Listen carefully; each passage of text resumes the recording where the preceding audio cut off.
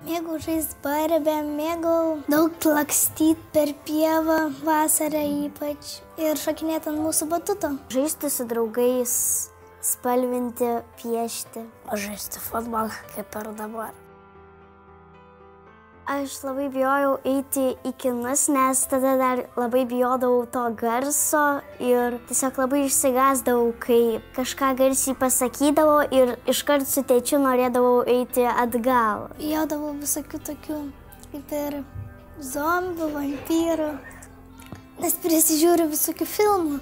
Ketvirtieji vaiko gyvenimo metai, kupini įvairiausių klausimų. Šiuo laikotarpiu pasiruoškite, kad daug kartų reikės atsakyti vaiko sugalvotus klausimus. Pavyzdžiui, kodėl tėčio barzda durė?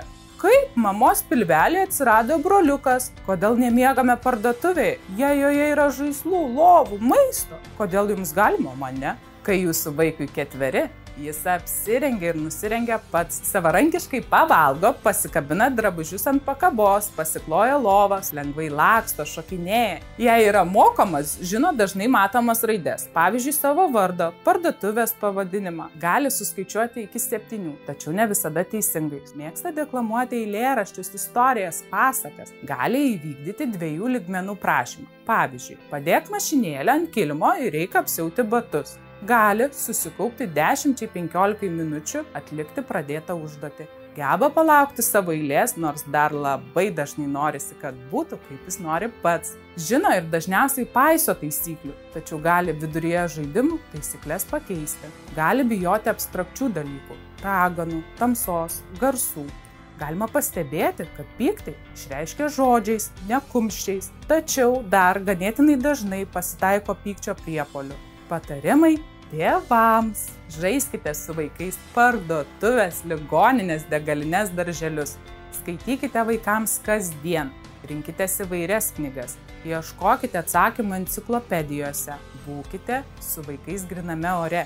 Keliaukite ieškoti lobio, kurkite tvirtovės, statykite sniego senius, skatinkite vaikų domėjimąsi raidėmis, skaičiais. Girkite vaikus už jų pastangas. Leiskite pasidžiaugti pasirinkimo laisvę. Pavyzdžiui, šiandien vilkėsi raudoną ar mėlyną mėgstinį. Lavinkite vaikų pojūčius, smulkėją motoriką. Pavyzdžiui, paslėpkite gyvūnų figūrėlės pievose. Ugdykite pagarbą, toleranciją kitiems žmonėms, gyvūnams, aplinkai. Pavyzdžiui, pagaminkite maisto paukščiams. Aptarkite, kad žmonės būna skirtingi. Vaikai taip pat vystosi ne vienodai. Svarbiausia, kad vaikas ieškotų sprendimų.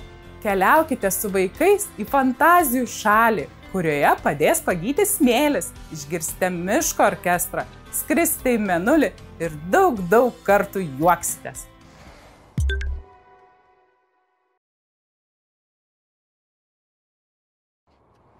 Daugiau patarimų, kaip auklėti, mokyti, lavinti vaikus – galite rasti mūsų YouTube kanale.